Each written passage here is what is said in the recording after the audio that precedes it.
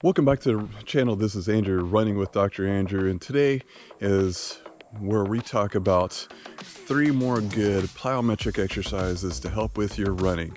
All right, guys, let's go.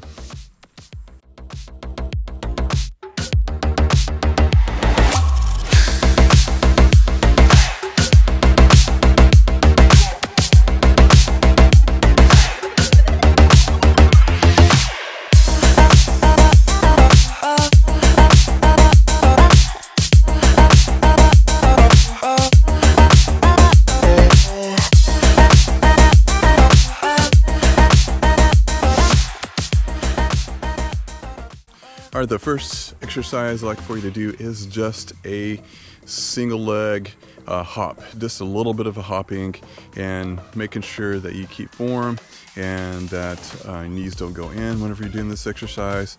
You can do, you know, set a timer doing 15 repetitions. And so what this is gonna do is gonna help with a quick foot type of movement. So that definitely like with running, we want to have quick feet to land and try to keep our, our feet foot as um, quick on the ground. You don't want to spend a lot of time on the ground with it, so that we get to the next leg. So this kind of helps out with a quick foot with single leg there too, so helps improve the calf and the hip as well. So the second one that you're going to do is a jump on one leg and then switch legs and opposite leg you're going to drive your knee like you're driving your knee to run pretty fast there. And you're going to jump again and drive your knee up. And again set a timer for 30 seconds doing this um, to help out with your knee drive and jumping on one leg there in place.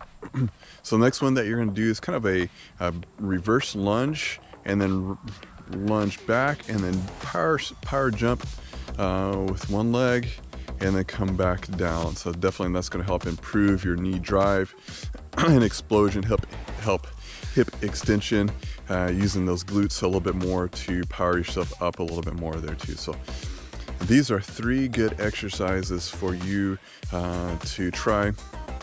Uh, uh to help improve running efficiency, running strength, you know, definitely don't have to do a lot, a lot of repetitions with this, you know, maybe five, ten minutes of these.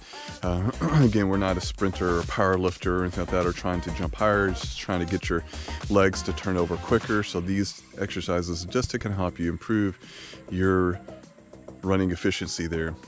All right, guys, this concludes this video.